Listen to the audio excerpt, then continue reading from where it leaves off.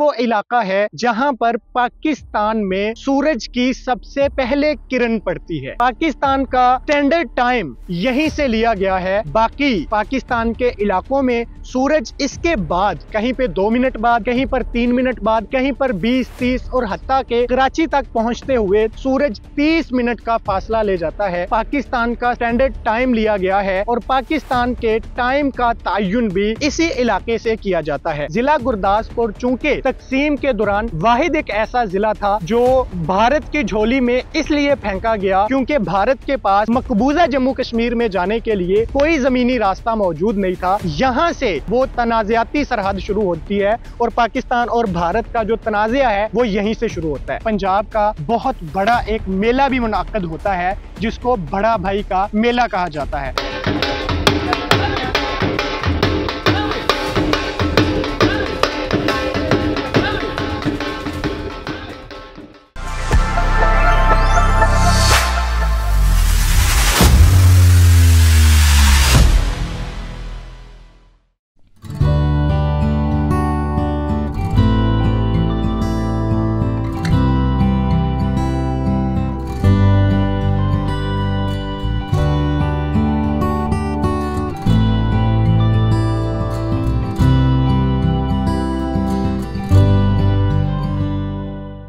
असलकुम आज हम इस वक्त पाकिस्तान के इंतहाई शुमाल मशरक़ी इलाके में मौजूद हैं और यहीं से पाकिस्तान का आगाज़ है। पाकिस्तान के आगाज़ के जो इलाके हैं, बल्कि जो पाकिस्तान का शुरू है, पाकिस्तान का बाब है, हम वहाँ पे खड़े हैं। मेरी पुश्त पर जो आपको इलाका नज़र आ रहा है, ये इलाका भारत का है। इनायतपुर घरोटा पाकिस्तान का आखिरी गाँव है और उसके बाद भारत की इंटरनेशनल बाउंड्री है और उसके आगे भारतीय इलाका शुरू हो जाता है। जबकि जिस जगह पर मैं मौजूद हूँ, ये दरियापुर का इलाका है और ये वो इलाका है जहाँ पर पाकिस्तान में सूरज की सबसे पहले किरण पड़ती है। चूँकि पाकिस्तान का, पाकिस्तान में सूरज मशरक से निकलता है तो जब मशरक से सूरज सबसे पहले सुबह उफक पर नमूदार होता है तो उसकी जो सबसे पहली किरण पड़ती है, वो इस जगह पर पड़ती है जहाँ पर मैं मौजूद हूँ। पाकिस्तान का स्टैंडर्ड टाइम यहीं से लिया गया है। बाकी पाकिस्तान के इलाकों में सूरज इसके बाद, कहीं पे दो मिनट बाद, कहीं पर तीन मिनट बाद, कहीं पर बीस, तीस और हत्या के कराची तक पहुँचते हुए सूरज 30 मिनट का फासला ले जाता है। यानी कि कराची से जो पाकिस्तान का इंतहाई मगरबी इलाका है, वहाँ पर जब सूरज नमूदार होता है तो 30 मिनट का वक्फा पड़ चुका होता है। यहाँ पर कराची से 30 मिनट पहले पाकिस्तान में सूरज नमूदार होता है। इसी वजह से शक्करगढ़ के इस इलाके से पाकिस्तान का स्टैंडर्ड टाइम लिया गया है और पाकिस्तान के टाइम का तयन भी इसी इलाके से किया जाता है। शक्करगढ़ पाकिस्तान के इंतहाई शुमाल मशरकी इलाके में एक तहसील का नाम है जो ज़िला नारोवाल की एक तहसील है।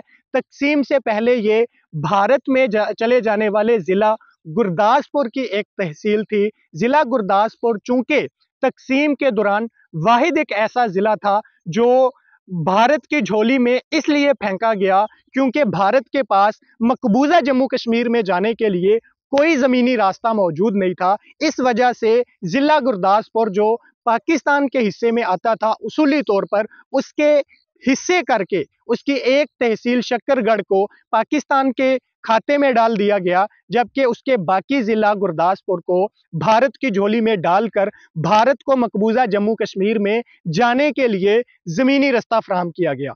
ये मेरी दाई जानब मकबूजा जम्मू कश्मीर का इलाका है। मेरी बाई जानब पाकिस्तान और भारत की इंटरनेशनल बाउंड्री है। मेरी जो बाई जानब से बाउंड्री जो शुमार होगी, वो बाउंड्री रिकोगनाइज्ड इंटरनेशनल बाउंड्री है, पाकिस्तान और भारत का कोई तनाज़ा ना है, जबकि मेरी दाई जानब जो बाउंड्री यहाँ से जो है ना वो शुमार होगी, वो बाउंड्री जो वर्किंग बाउंड्री कहलाती है मकबूजा जम्मू कश्मीर की, ये वो बाउंड्री है। चूँकि यहाँ पर पाकिस्तान का जो जम्मू कश्मीर का इलाका है, जिस पर भारत ने गासिबाना कब्जा कर रखा है, वो इलाका है, इस वजह से यहाँ से वो तनाजी तनाज़ाती सरहद शुरू होती है और पाकिस्तान और भारत का जो तनाज़ा है, वो यहीं से शुरू होता है। मेरी दाई जानब से लेके फिर आगे आज़ाद जम्मू कश्मीर तक, आज़ाद कश्मीर के जो जो पहाड़ जो उसकी लाइन ऑफ़ कंट्रोल है, वहाँ तक का जो इलाका है, वो वर्किंग बाउंड्री कहलाता है। इसमें कुछ इलाका, सियालकोट के इलाके में आता है, कुछ इलाका नारोवाल के इलाके में आता है और भारत और पाकिस्तान की ये वर्किंग लाइन पर जो कॉन्फ्लिक्ट है, वो वो है। अच्छा मेरे, ये दाएँ जानब तकरीबन यहाँ से कोई छः से सात किलोमीटर दूर एक बहुत बड़ा पाकिस्तान के नामवर सूफी बुज़ुर्ग, सूफी अब्दुल सलाम चिश्ती साहब का मज़ार भी वाक़ है, जो बड़ा भाई मसरूर में है।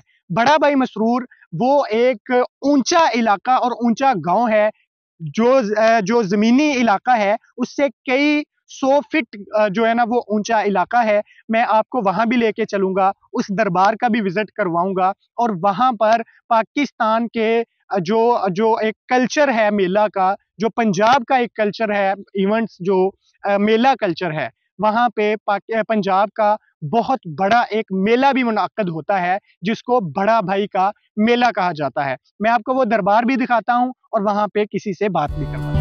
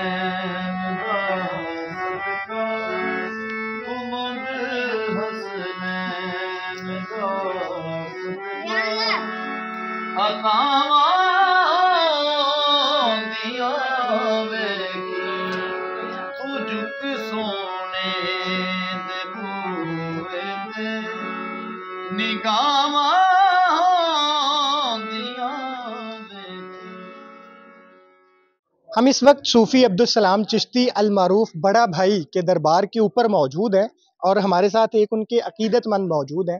इनकी तरफ बढ़ते हैं और जानते हैं जी सलामकुम वालेकुम सलाम आप यहाँ के मुकामी हैं नहीं मैं नज़दीकी तीन किलोमीटर पे मेरा गाँव है इसी इलाके के हैं हाँ जी तो बाबा जी के बारे में इनकी बड़ी करामात मशहूर हैं तो आपको कोई इनकी करामत याद हो तो वो ज़रा हमें सुनाइए बहुत देर पहले दिन है जो भी सुनते आ रहे हैं यही सुनते आ रहे हैं कि बड़ा भाई सरकार ਇੱਥੇ ਡੇਰਾ ਲਾਇਆ ਤੇ ਜੇ ਉਸ ਟਾਈਮ ਦੇ ਬਾਦਸ਼ਾਹੀ ਜਾਂ ਕਾਫਰ ਲੋਕ ਉਹਨਾਂ ਨੂੰ ਰਹਿ ਨਹੀਂ ਦਿੰਦੇ ਇਹਨਾਂ ਨੂੰ ਜੰਗਲ 'ਚ ਛੱਡ ਆਏ ਸੀ ਫਿਰ ਆਪ ਸਰਕਾਰ ਕੁਛ ਦਿਨ ਤੋਂ ਬਾਅਦ ਜਾਂ ਕੁਛ ਟਾਈਮ ਤੋਂ ਬਾਅਦ ਆਏ ਨਾ ਫਿਰ ਸ਼ੇਰ ਦੀ ਸਵਾਰੀ ਕਰਕੇ ਫਿਰ ਕਾਫਰ ਲੋਕਾਂ ਨੂੰ ਪਤਾ ਚੱਲਿਆ ਕਿ ਕੋਈ ਹਸਤੀ ਹੈਗੀ ਹੈ ਕੋਈ ਬਲੀ ਅੱਲਾ ਹੈਗਾ ਬਹੁਤ ਵੱਡੇ फिर सरकार थे रहना शुरू हो गई तो क्या रूटीन है यहाँ पे क्या क्या जो है ना एक्टिविटीज होती हैं क्या किया जाता है पूरे पाकिस्तान से तीन दिन के लिए औरसत है लेकिन रहता तो पंद्रह दिन है हम्म। और पूरे पाकिस्तान से दुनिया आती है अकीदत बंद इधर आते हैं सलाम पेश करने के लिए।